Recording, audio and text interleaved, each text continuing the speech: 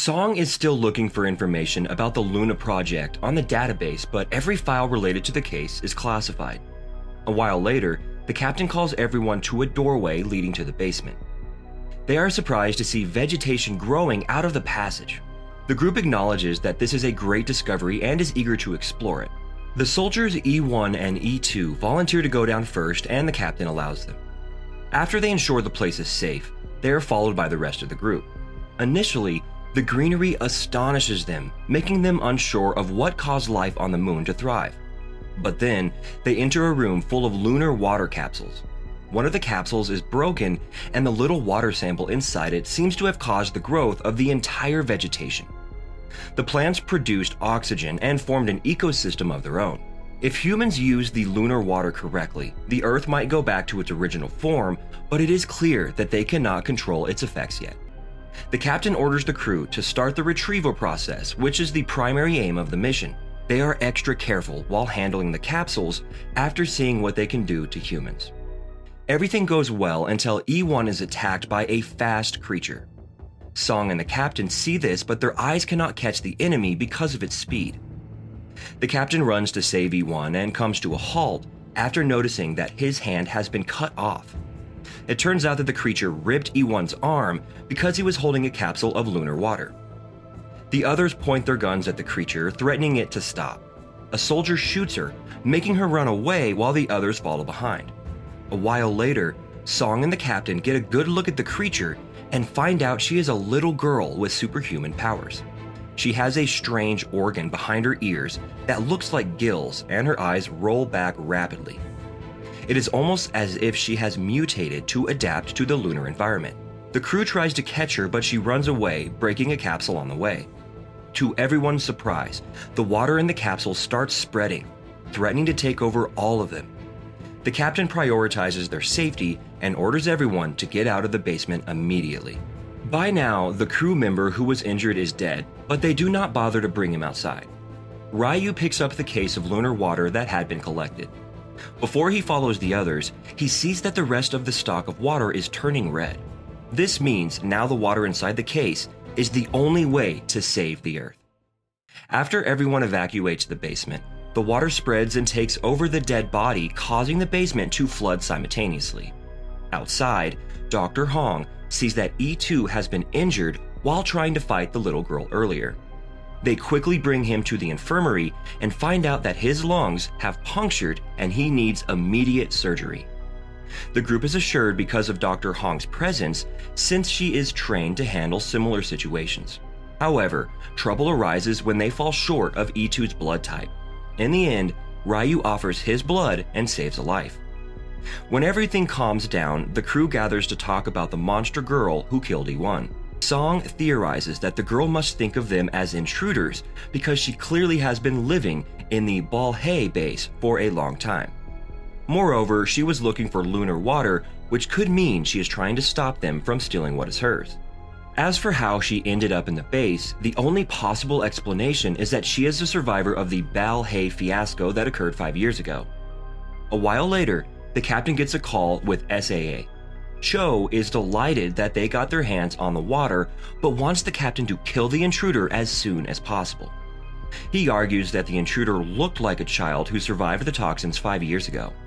However, Cho refuses to believe him and exclaims that the kid might be a thief from a different nation trying to ruin the mission. She promises to send the backup as soon as possible. Right after the call, we see a picture of her and the monster girl pop up on her screen. This makes it evident that she knows the girl prior to the mission and is hiding something from the captain. The captain, on the other hand, feels his moral dilemma coming in the way of the mission. Following that, he meets Song, who wants to go to the secret data storage unit to retrieve information about the Lunar Water Project. The captain is initially skeptical because he doesn't want to risk any more lives. But then, Song explains that they cannot bring the water to Earth before they know for sure that it is safe. After contemplating her comment, he allows her and Dr. Hong to go to the classified data unit. Dr. Hong keeps Ryu in charge of staying with the injured until he is needed somewhere else. When Ryu is alone, he gets a text from someone on the Earth asking him if they have acquired the sample water. It is then revealed that he is a corporate spy who has been sent to sabotage the mission and retrieve the capsules for the same organization that appointed Gisu. His next orders are to eliminate the crew members and bring the sample to the backup party coming to retrieve him from the moon. Meanwhile, the captain and the other men of the crew are looking for the little girl. They walk through vents and shafts, assuming that she has been using them to travel around the base. Eventually, they reach a hallway that is not on the map, and they find out that it connects to all the ventilation, forming a maze like structure. Then there are Dr. Hong and Song, who are in the data unit. They use a higher level card to download the information about the project. While it is downloading, Hong asks Song what her sister was like. Since she also died in the Balhae base five years ago, the topic is sensitive for Song. Still, she reveals that she never knew her sister was working here before she was informed about her death. They grew apart over the years, and Song didn't pick up the last phone call from her sister. It is still the greatest regret of her life.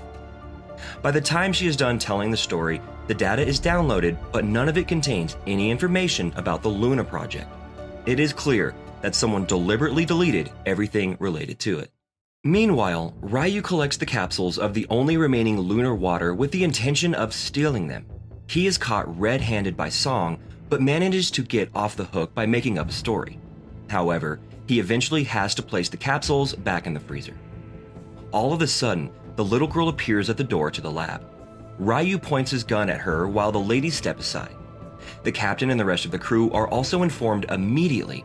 Song wants to approach the girl with caution, but before she can, Ryu hastily shoots her, causing her to go on a rampage. Suddenly, Song halts everyone in their tracks, asking them to leave the girl to her.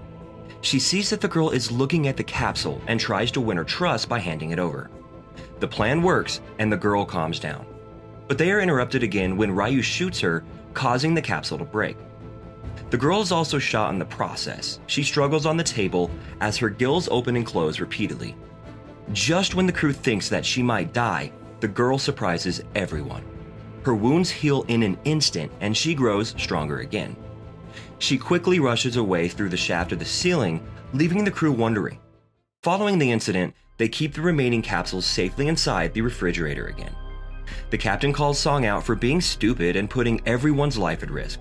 But Song argues that the girl is their only shot at finding out a way to control lunar water because she is the only person immune to it. Instead of trying to kill her, they have to win her trust or capture her. The rest of the group agrees and they think of a way to control the girl. They decide to put a capsule in the hallway as bait and close the doors to keep her locked. Hong checks Ryu's temperature and finds out he is feverish. This again gives him a reason to stay at the infirmary while everyone else is working on the other side of the base. This time, he is determined to kill anyone who comes in his way. Somewhere else, the captain gets on a call with the chief of resource group, Mr. Kim. He trusts the man and asks him everything he knows about the Balhae base. Kim replies that when it was shut down by Cho five years ago, there was someone who opposed her orders. The captain wants him to elaborate further, but Mr. Kim asks him to talk to Song instead. Following the call, Kim goes to see the captain's daughter, who is not getting any better. Kim has promised to look after her and is doing his best to keep his promise to the captain. Somewhere outside the water distribution facility, many poor people are fighting and crying for a single drop. Back on the lunar base, the crew develops an elaborate plan to catch the little girl. Song stands in the middle of a hallway with a capsule to lure her in. The captain is keeping a close eye on her from one side of the hallway, while two more men are on the other side. As they wait for the girl, Ryu is busy somewhere else, collecting the capsules for the second time. He walks away with them, but right then, E2 gains consciousness. Even though he is heavily injured, he goes to check the refrigerator and finds the capsules missing. He is about to contact the captain when Ryu appears and shoots him dead. Sometime later, Mr. Hong arrives at the infirmary and finds both Ryu and E2 missing. She informs the captain through a device, but he has to focus on the execution of the plan before the disappearance. Suddenly, the group sees someone approaching them at a great speed on a tablet. The guy hides while Song stays in the hallway. When the girl enters the designated zone, Song is supposed to step out. However, she refuses to do so and wants to form a connection with the girl instead. In a moment of panic, the captain pulls her aside, causing the girl to panic as well. She tries following them behind, but her leg is stuck because of the closing door. Song, yet again, wants to help her, but is bitten by the girl. She struggles and cries for help, making the captain hit her with a tranquilizer gun. To their surprise, the girl hugs Song before falling unconscious. Then, Song notices Luna 073 written on the back of the little girl's neck. At the same time, Ryu reaches the control panel and closes all the doors of the base. Before the group comprehends what is going on, Luna gains consciousness and runs away through a shaft. Song follows her and is stuck in a different room than the captain. Still, she decides to track the girl through the shaft. In the meantime, Dr. Hong offers to bring the capsules to a safer location. But upon checking the freezers, the capsules are already gone. She also finds E2's dead body in one of the freezers and is in shock. Song is still following Luna, and for some reason, the little girl is showing her the way and waiting for her to catch up. Eventually, Song reaches a messy room where Luna has been staying all this time. She opens a compartment and finds her laying down inside. The two look at each other, trying to analyze what the other person is thinking. Song makes the first attempt at talking and asks her how her leg is. When Luna replies with nothing, Song brings out candies and teaches her how to eat them. The two share a special bond, and Song senses that the little girl trusts her. In the last scene, Song finds pictures of her and her sister on Luna's bed and is shocked. Subscribe for more videos like this, turn on the notifications, and leave a like to help the channel out. Thanks for watching.